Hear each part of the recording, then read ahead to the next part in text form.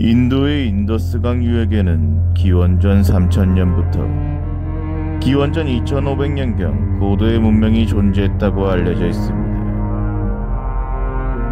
실제로 모헨조다로와 하라파에는 계획적으로 건설된 도시가 있었죠. 그 후 기원전 1300년경 북쪽에서 내려온 아리아 민족의 침입으로 원주민이 예속되면서 점차 국가가 형성되었습니다. 인도는 적어도 기원전 9세기경까지 아시리아와 바빌로니아와도 교류했다고 전해졌죠. 기원전 4세기 말경에는 알렉산드로스 대왕의 인도 침입으로 그리스의 영향도 받았습니다. 2세기경 중국에서 불교가 확산된 것에서도 알 수 있듯이 인도는 중국과도 교류하기 시작했습니다. 이렇듯 원래 뛰어난 문화가 있었던 인도가 주변국의 뛰어난 문화의 영향까지 받아들이게 된 거죠. 당연히 세계적으로 우수한 수학 지식을 가질 수밖에 없었던 것입니다. 뛰어난 인도 수학에 관한 최초의 문헌 사료는 기원전 6세기경의 술바스트라스가 대표적이죠.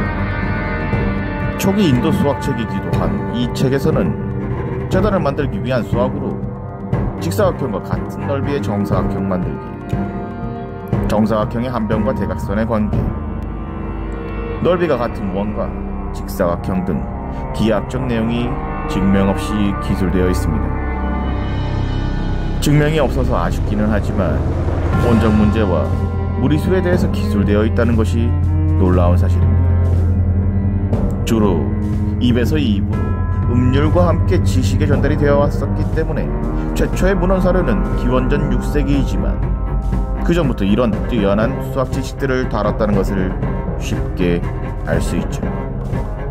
다만 아쉬운 점은 암기와 낭송을 위주로 하다 보니 이해하기 쉽게 전달이 되지 않았다는 것입니다. 고대 인도에서 제사를 지내는 장소나 재단 등에 설치를 할 때 직사각형과 같은 넓이의 정사각형이 필요했을 겁니다. 영역 보조 변환이 필요했던 거죠.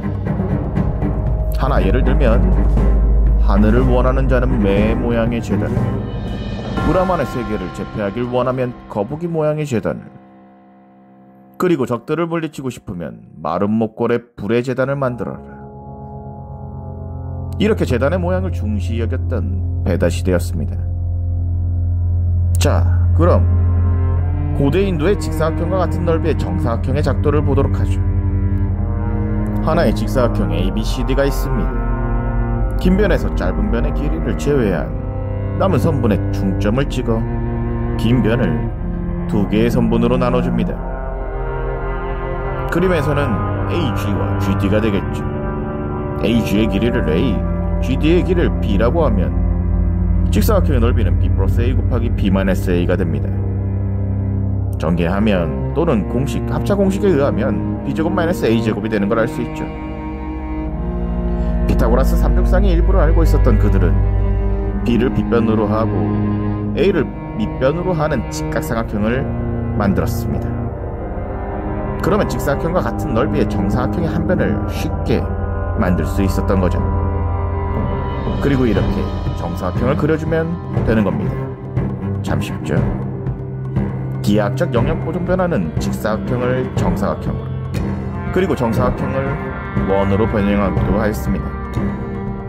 원주율을 구할 수 있었던 거죠. 음률과 함께 구전되었던 고대 인도의 수화, 술바스트라스의 수화였습니다. 감사합니다.